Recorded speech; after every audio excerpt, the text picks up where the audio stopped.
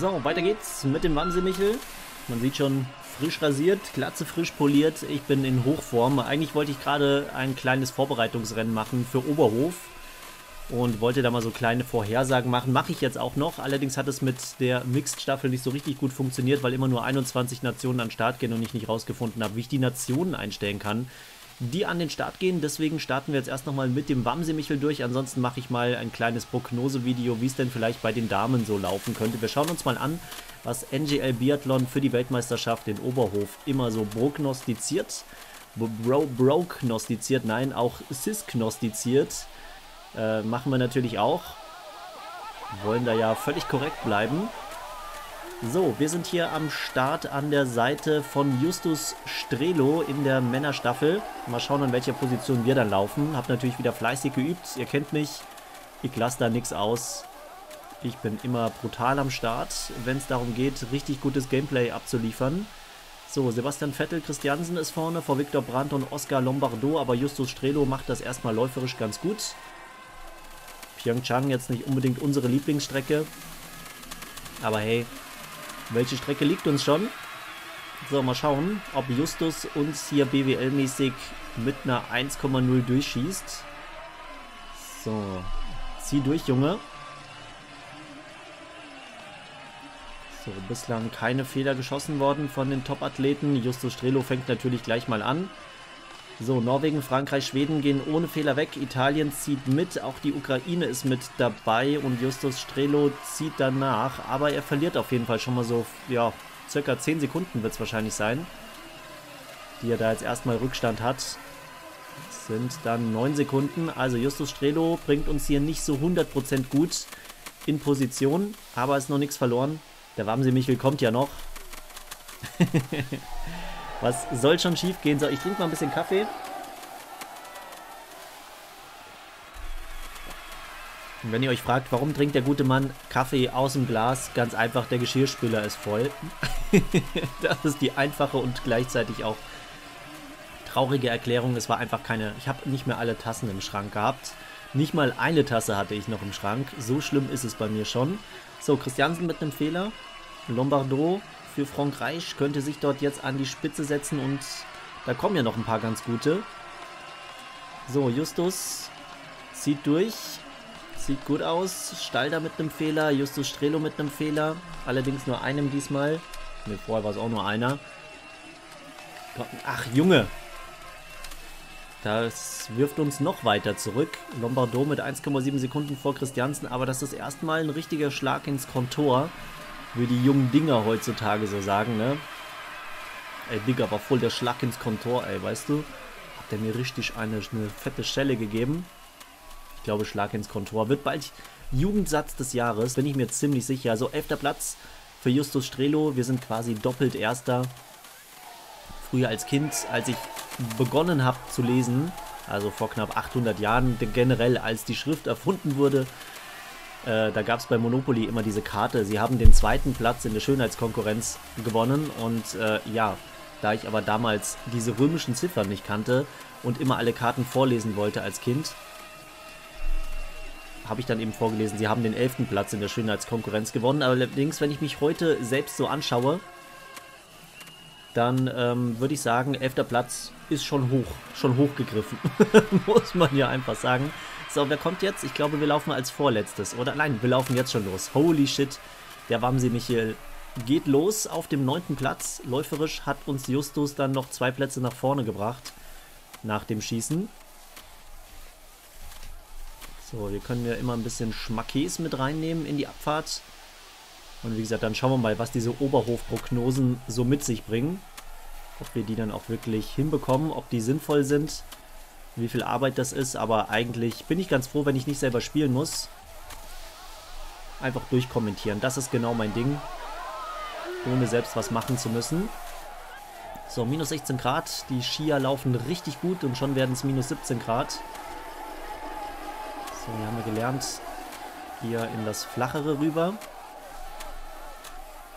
So, 35,6 Sekunden der Abstand, also auch läuferisch erstmal gut. Gegen Johannes Dahle laufen wir. Natürlich jetzt hier auch nicht gegen die absolute Spitzenkonkurrenz am Start. Aber wir können auf jeden Fall rennen, da wo gestreut ist.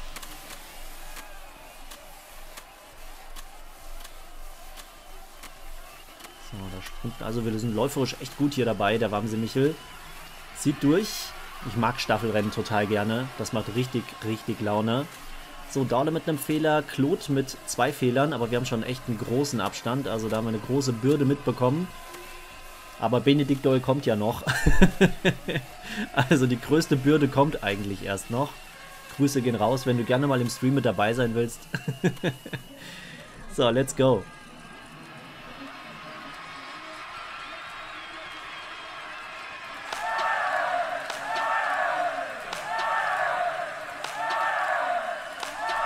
Jawohl, saubere Serie. Gut geschossen. Wir bringen uns ein bisschen nach vorne.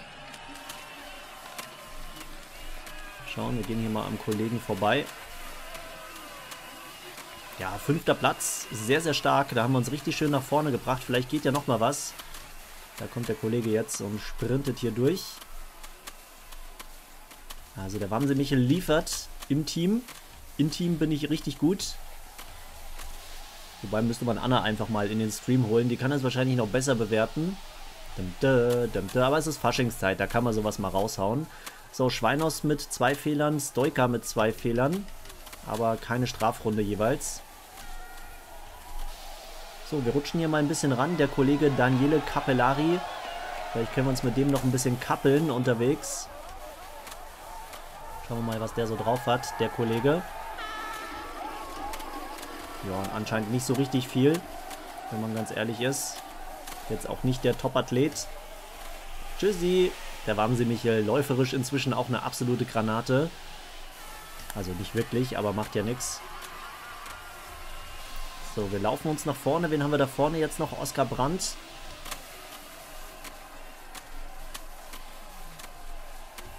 Jo, da kann man ruhig mal den Wheelie einlegen. Also der Wamsi Michel hat Bock sprinten mal wieder durch. Wir müssen auch nur einmal hier wirklich alles geben. Nicht wie bei der Single Mixed Staffel. So, jetzt reicht es aber auch mit dem Puls. Ansonsten haben wir echt ein Problem und ich glaube, wir kriegen ein Problem. So, Dollar ist schon durch vorne. Der hat fehlerfrei geschossen, aber der ist eh nicht unsere Konkurrenz. Claude mit einem Fehler. Brand sehen wir da vorne jetzt stehen. Mal schauen, was der so macht.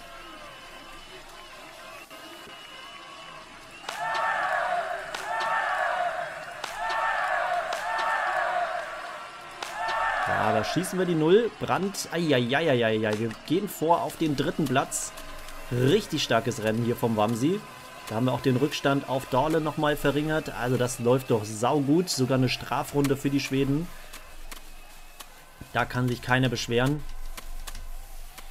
dass wir das Rennen hier verkackt hätten. Da waren wir saustark mit dabei. Wenn das ein Sprintrennen wäre, wären wir, glaube ich, auch richtig weit vorne. So, Kretschmer 40,6 Sekunden dahinter. Da manifestieren wir erstmal hier den dritten Platz für die deutsche Staffel. Wir sind einfach ein Teamplayer. Im Team sind wir, wie gesagt, am stärksten. Im Team haben wir schon drüber gesprochen. So, ich nehme auch auf. Sehr gut. Läuft. So, alter Schwede, werden da hinten viele Fehler geschossen. Ich hoffe mal, dass unsere Mitstreiter sich davon nicht anstecken lassen.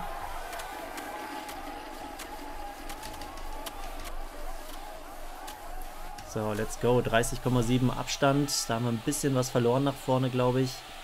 Macht aber jetzt auch nicht allzu viel aus.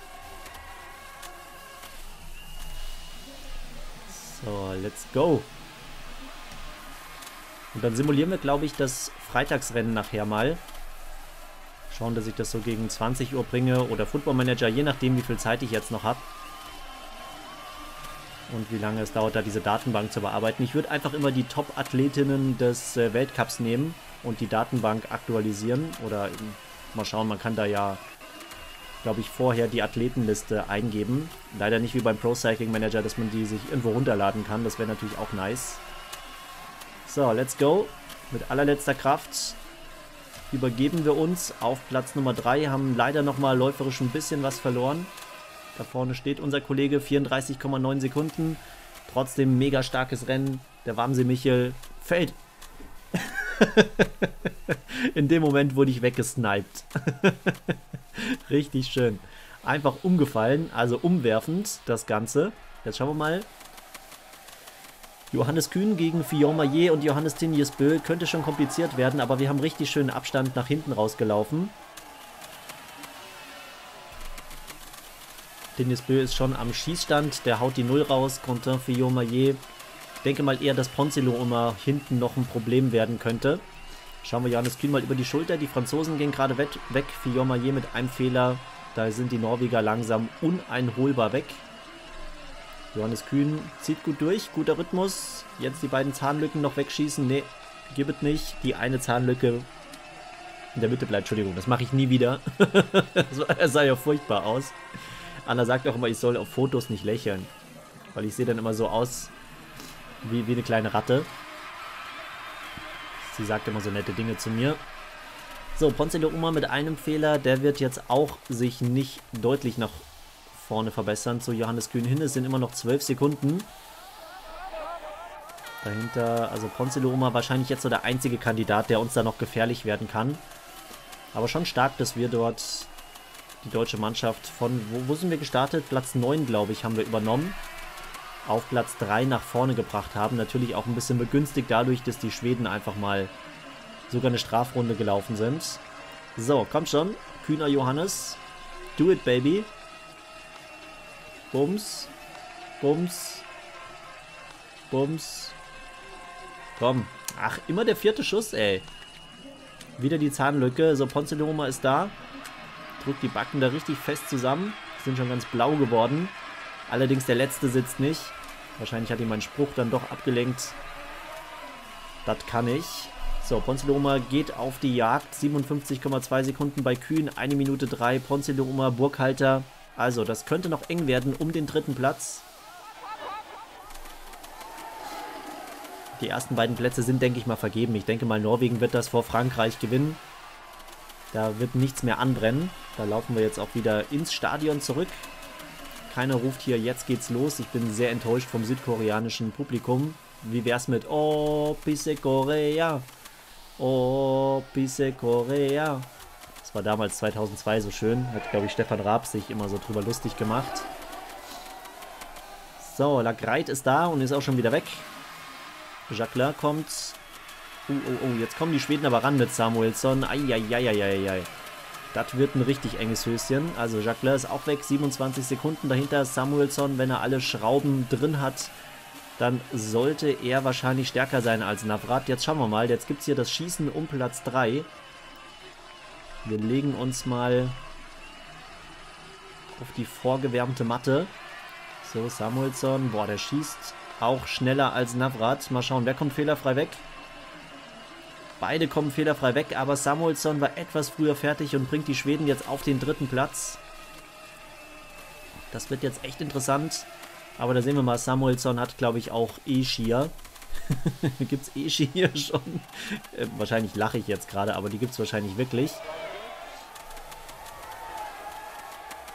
So, Samuelsson setzt sich ab, aber jetzt auch nicht so extrem. Das werden wahrscheinlich so 3-4 Sekunden sein zum Schießstand. Navrat hält da eigentlich ganz gut mit. Letztes Schießen. Hartweg haben wir immerhin abgehängt. Der vierte Platz sollte safe sein. Samuelsson gegen Navrat. Jacqueline mit zwei Fehlern, aber die Franzosen trotzdem 42,2 Sekunden sind relativ safe. Samuelsson, wenn er mit der 0 durchkommt, dann war's das und er kommt mit der 0 durch. Navrat kann sich Zeit lassen und den vierten Platz absichern. Da wird jetzt nichts mehr bei rumkommen. Also vierter Platz für Deutschland. Können wir ganz kurz die Kamera... Ah ja, die Norweger sind schon da. nice. Ist er einfach schon im Ziel, der Drecksack. Also, hä? Achso, ja, die Franzosen laufen natürlich geradeaus. Entschuldigung. Es irritiert mich immer dass das hier so andersrum ist, dass man hier in der Mitte quasi ins Ziel reinläuft. Auf Platz 3 müssten die Schweden kommen, dahinter Navrat, der dann jetzt doch 7 Sekunden verloren hat. Also, dann dieses Mal eine etwas bessere Schlussrunde von Samuelsson, aber umso schöner, dass Philipp Navrat immerhin den vierten Platz für uns holt. Wir skippen mal zu den Results, so interessant ist das dann jetzt glaube ich auch nicht mehr.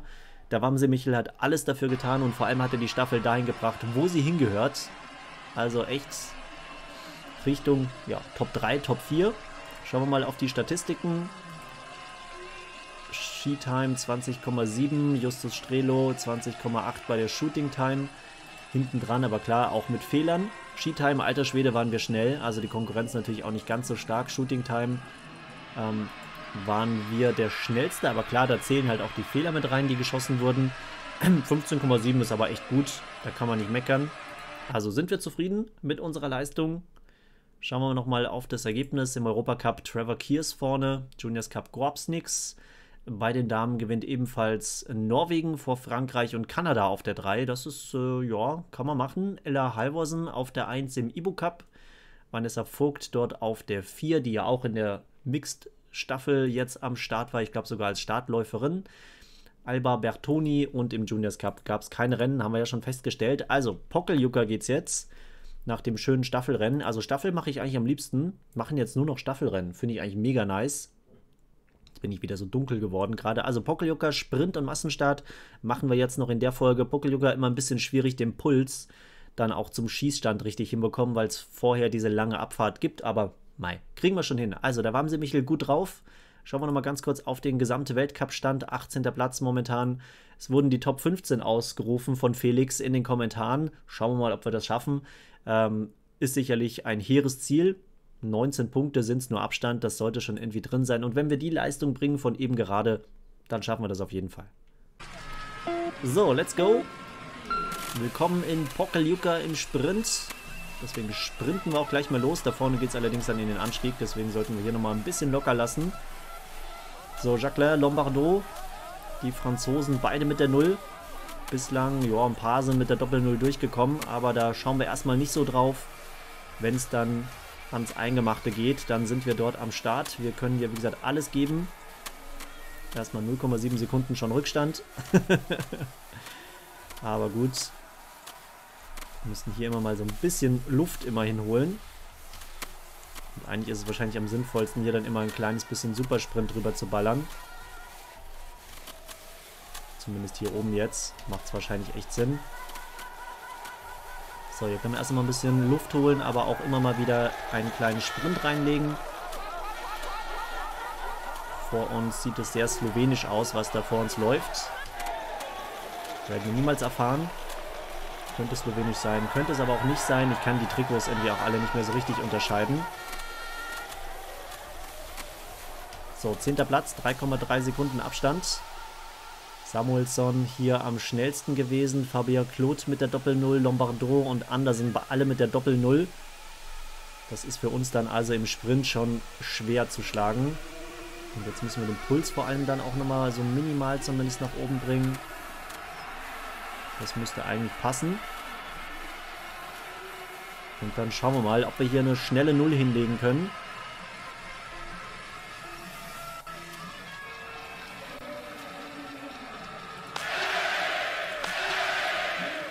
Ja, scheiße. Na, keine schnelle Null. Das war sehr langsam geschossen, leider. Da bin ich einmal aus dem Rhythmus gekommen. Das war auf jeden Fall ein 8 oder 9 Sekunden Schießen. Das war nicht gut genug. Da verlieren wir viel. Das sind 5,2 Sekunden, die wir verlieren. Das ist nicht gut genug. Da haben wir höhere Ansprüche an uns selbst. Müssen wir jetzt gleich im Stehendanschlag alles durchballern, was wir haben. So, zieh durch, Wamsi. So, hier verlieren wir natürlich gleich nochmal mehr. 15. Platz mit der Rückennummer 30 ist das jetzt erstmal nicht so optimal. Wir wollen in die Top 21, aber es gibt sowieso danach den Massenstart. Also es gibt hier kein, kein Verfolgungsrennen im Anschluss. Das ist in dem Fall vielleicht unser Vorteil. Aber jetzt nochmal eine gute Null. Und wir können uns vielleicht nochmal ein bisschen nach vorne arbeiten. Das war sehr langsam gerade natürlich nicht gut genug. Für Ibu Cup oder sowas hätte das wahrscheinlich gereicht. Alter Schwede läuferisch ist hier aber auch einiges geboten.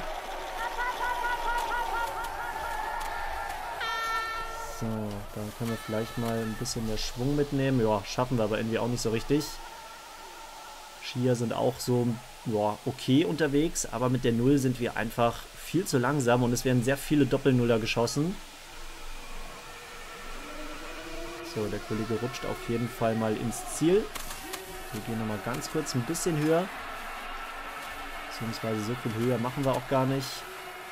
So, einmal nochmal durchgesprintet und dann jetzt die schnelle Null. Komm schon, Konzentration. Boah, alter Wackel.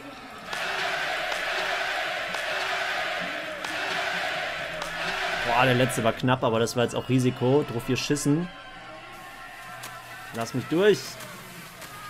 Da werden wir noch um einiges zurückgereicht, aber es geht erstmal Richtung Top 10. Neunter Platz, 12,1 Sekunden, aber das war eigentlich ganz gut geschossen. So, zieh durch. Danach müssen wir dann gleich ein bisschen Supersprint durchballern.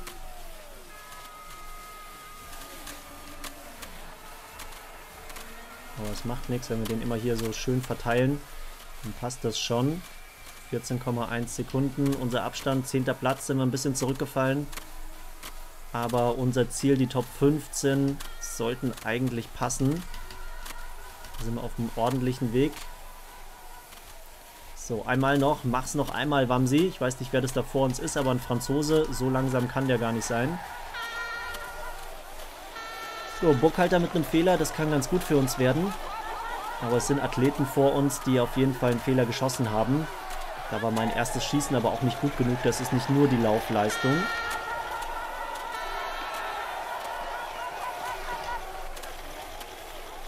So, und jetzt haben wir Schmackes hier rein. Ja, das war nicht optimal. Dann nehmen wir wieder zu wenig Schwung mit. 18,8 Sekunden, Unterwege 18,9. Also nur durch gutes Rutschen können wir das jetzt irgendwie noch schaffen. Aber ich glaube eher, dass die Kollegen hier unten noch mehr Energie und besser Energie aufgehoben haben, wobei jetzt der Weg ins Ziel auch nicht mehr allzu weit ist. Ein bisschen Supersprint hatten wir noch. Schauen wir mal, Unterweger schaffen wir knapp nicht. Elfter Platz für den Wamsi Michel mit der Doppel-Null. Wenn das erste Schießen nicht gewesen wäre. Das war einfach zu langsam, der Liegendanschlag. Justus Strelo, Lukas Fratscher auf den letzten Plätzen erstmal. Da kommen einige rein, die uns auch nicht schlagen können wechsle mal ganz kurz die Perspektive. Zwölfter Platz jetzt, Samuelsson vorne, vor Stulaheim Lakreit. Lakreit, Fabian Claude auf der 3 mit der Doppel-Null, trotzdem 9 Sekunden dahinter. 14. Platz. Aber es wird hoffentlich die Top 15 werden. Einer fehlt noch, also die Top 15 schafft der Wamsi Michel. Er wird sogar 14. Also, schönes Ding. Nicht überragend, also jetzt nichts, wo man seinen Enkelkindern noch von erzählen wird. Also höchstwahrscheinlich kommt darauf an, wie interessant man dann im Alter halt auch ist. Ne? Also wenn euer Leben richtig kacke ist, dann kann es natürlich schon sein, dass ihr euren Enkelkindern davon erzählt. Aber ich glaube, dass euer Leben deutlich schöner ist. So, Shooting 1 super schlecht, Shooting 2 war mit 7,4 besser, aber auch natürlich nicht überragend. Jutti. Also, ich habe schon Schlimmeres gesehen, ich habe schon Besseres gesehen. Winkter Brandt holt sich im Ibo Cup den Sieg. Roman Rees auf der 22. Könnte sein, dass das Verfolgungsrennen dann ohne Roman Rees stattfindet, wenn es in Sochi eine Verfolgung gibt. Das wissen wir nicht. Ist uns auch wurscht. Lovro Blanco im Europacup vorne und Querliniger für die Schweiz. Siegreich im Juniors Cup. Franzi Preuß auf der 2 hinter Elvira Öberg. Was macht denn meine Liebl Lieblingsathletin? Die klare Bayern ist auf der 38. Das wird's nichts werden. So, Tilda Johansson, Vanessa Vogt auf der 6, Europacup Ha-Yun Kim. Vorne, die Deutschen spielen auch da keine Rolle und Heidi Mendel. Leider drei Fehler im zweiten Schießen. Ansonsten wäre es besser gelaufen. Super, für weitere wichtige Weisheiten. Wie gesagt, einfach den Channel abonnieren. Das läuft schon. Also Massenstart in Pokeljuka. Da dürfen wir natürlich wieder mitmachen. Wir schauen mal auf den Gesamtweltcup. 234 Punkte. Ja, ein bisschen was haben wir, glaube ich. Ne, es waren 19 Punkte. Es sind 19 Punkte. Wir haben uns aber an den ein oder anderen Athleten ein bisschen rangesaugt. Mit dem Abstieg, wie gesagt, haben wir nichts zu tun. Die Top 15 sind das Ziel. Eigentlich ja sogar bester Deutscher werden wäre das Ziel. Aber da ist Philipp Navrat, glaube ich, ein bisschen zu gut. Wir schauen mal ganz kurz auf seine Werte. Holy shit, ist Philipp Navrat gut. Der hat ja einen 88er Durchschnittswert, also den werden wir nicht knacken können. Also dann musste man sich nicht wundern, dass er mit Samuelsson in der Staffel eigentlich so gut mithalten konnte. Jutti, also Pokeljuka, Massenstart, Top 15 sind das Ziel. Das hoffen wir einfach mal, dass die Kollegen jetzt ein bisschen schlechter schießen, als das eben der Fall war. Aber wenn, wenn wir so laufen, Pokeluka ist immer läuferisch ein bisschen schwierig mit diesem dauernden Anstieg da hoch. Äh, da kann es schon sein, dass wir da ein bisschen mehr Zeit verlieren. Düt, düt, düt. Wir haben uns alle lieb. Piep, piep, piep. Wir haben uns alle lieb. Gildo hat euch lieb. Und wenn es auch mal Sorgen gibt, dann kommt er rüber und singt für euch Lieder. Gildo hat euch lieb, immer wieder. Wer kennt's noch? Gildo Horn, einfach ein Held. Ein absoluter Held. Der hatte auch so eine ganz, ganz tolle Talkshow. Irgendwo im dritten Programm wo er immer ja Minderheiten quasi ins Fernsehen geholt hat, sich mit denen unterhalten hat, die konnten erklären, was sie da so tun und so weiter. Also aber so richtig einfühlsam, richtig richtig guter Typ einfach Gildo Horn. Man tut immer so, als hätte er immer nur schwachsinnige Lieder gesungen. Nein, sehr empathisch, sehr sympathisch. Ich hoffe, dir geht's gut, Gildo Horn. Hat sich auch nie breitschlagen lassen, irgendwie in die DSDS-Jury oder sowas zu gehen. Ich glaube, so menschlich ist er halt. Dieses Mal ja, glaube ich, die Krasavitsche, die Boss-Bitch, ist einfach in der Jury mit dabei oder nicht mehr dabei. Da gab es irgendeinen Skandal, den ich so über Twitter am Rande mitbekommen habe. So, ich spare mir hier ein bisschen Energie. Sollen wir ja machen, laut Robert Habeck, aber die Gasspeicher sind ja voll. Jetzt können wir also dann doch mal sprinten. Vorne die ersten Kollegen schon durch. Lagreit vor Samuelsson, Christiansen, Tinjes Bö, also die Norweger haben Bock.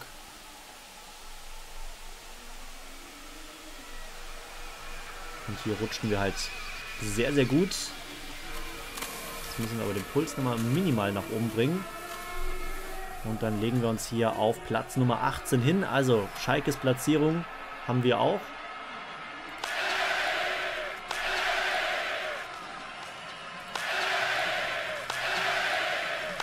Naja, okay. Nehmen wir mit. Auch das war nicht überragend geschossen. Irgendwie steht mein Athlet auch immer sehr langsam auf. Wir reihen uns hier irgendwo, irgendwo ein. Oh, da gehen doch ein paar Leute noch in die Runde. Ah, zehnter Platz, stabil.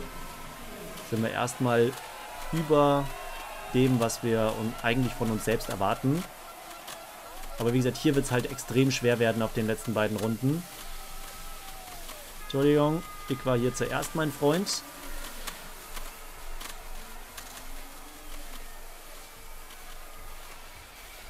So, Dicky Bionutz hängt uns dort am Arsch. Boah, alter Schwede, das kostet aber auch Energie hier hochzulaufen. Also das wird unschön. Das wird richtig unschön werden. Auf den letzten Runden. Also hier werde ich jetzt gar nicht sprinten. Ansonsten können wir nämlich unser Gewehr einpacken. Ja, geh halt innen durch. Wo du sonst nie lang läufst, du Arsch. Nein, ich lasse mich jetzt nicht dazu verführen, hier hinterher zu sprinten. Das macht nämlich keinen Sinn. So, elfter Platz ist doch erstmal auch völlig in Ordnung. Wenn wir uns umdrehen, die lauern alle schon. Wo kommt der rechts jetzt eigentlich gerade her? Ach komm, läuft er mir auch noch in die Hacken rein, Dale. Die Hacken sind bei mir vorne. Ich habe eine sehr komische Anatomie. Deswegen auch Wamsi Michel, da ist alles einfach umgedreht. So sind es die Bayern. So, unten sind die ersten Favoriten schon am Start. Wir bringen den Puls nochmal nach oben. Und Fehler werden, ja, Christiansen hat mal einen Fehler gemacht, aber sonst, ja doch, jetzt kommen die Fehler.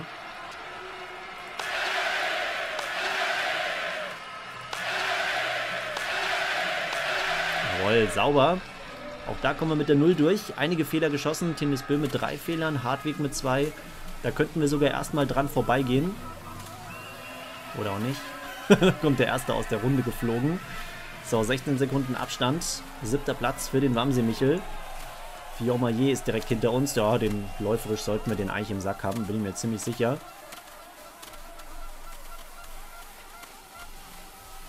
So, ich gehe hier auch mal etwas später in den Sprint rein.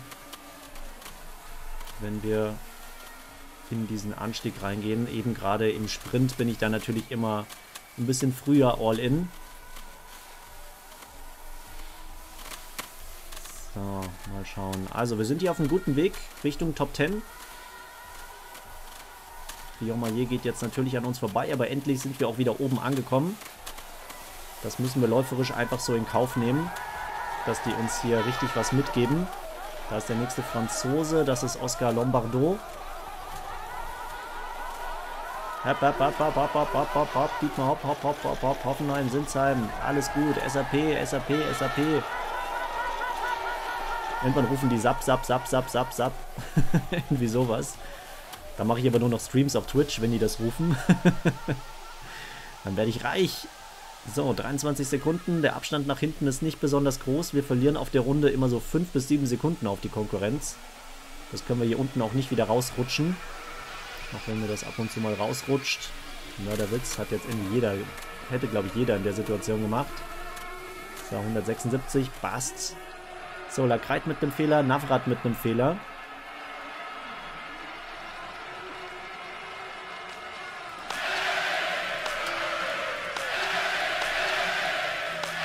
Und da waren sie mit einem Fehler. Schitte, aber schnell geschossen, das muss man lassen. Wie gesagt, ich gehe häufiger mal ein bisschen mehr Risiko.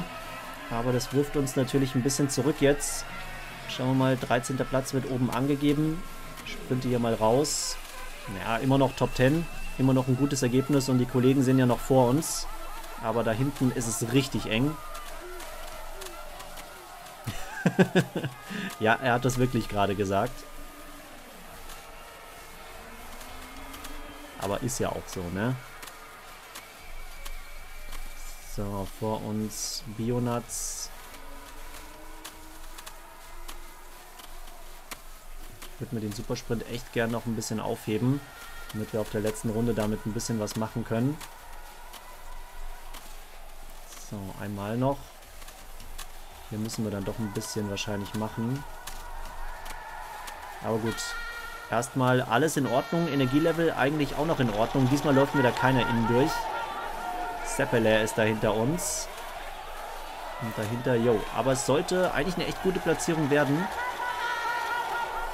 Aktuell sind wir auf dem 11. Platz. Samuelsson ist schon am Schießstand.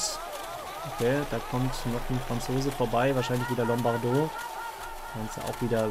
Alter, wo läuft der denn hin? Der wollte uns doch nur wegrammen. Was anderes wollte der doch gerade gar nicht machen. Fahr mal rüber. So, Samuelsson, Lagreit, Christiansen sind alle schon weg. Da haben wir auch kein Mitspracherecht da vorne. Da sind wir quasi der Betriebsrat ohne Befugnisse. So, Navrat wieder mit zwei Fehlern.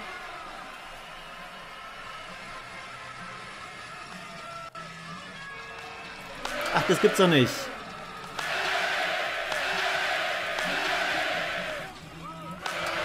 Nein, was habe ich denn da jetzt gemacht? Alter, was eine Katastrophe. Was eine fucking Katastrophe das denn war. Vor allem, ich habe einfach falsch geklickt eben gerade. Wo war der eine Schuss denn hin? Der war ja furchtbar hoch. Und unten hinten schießen die jetzt alle fehlerfrei. Gib es doch nicht. Platz 19. 17. Platz. Alter Schwede sind wir jetzt zurückgefallen. War das schlecht war das schlecht. Totalausfall. Unglaublich. Unglaublich. Da wollte ich nochmal richtig schön Risiko gehen und das Gewehr ist ordentlich gewackelt. Und dann war es natürlich gar nichts. Also, das ist wieder ein Rückschlag für den Wamsi.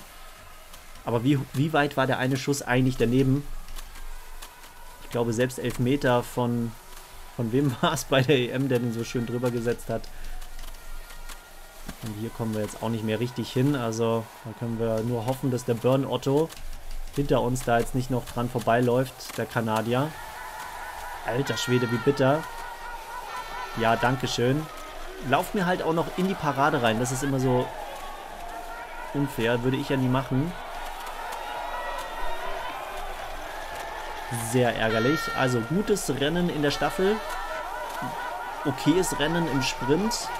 Und jetzt im Massenstart das letzte Schießen komplett verkackt.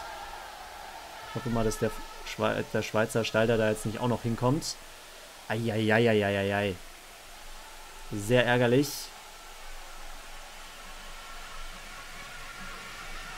Den errutschen wir uns jetzt auch nicht mehr.